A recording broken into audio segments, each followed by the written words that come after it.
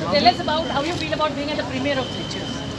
I think ये सबसे interesting चीज़ ये है कि that we have premiers for theatre pledge also stage place के लिए भी प्रीमियर्स होने लगे that's the best thing because normally people used to think theatre मतलब हाँ मतलब कोई ऐसे लो बजट चीज़ है सो I am very happy that in theatre in stage pledge also we have premiers now that's that's good feeling Good luck to Three Cheers. Say cheers to Three Cheers.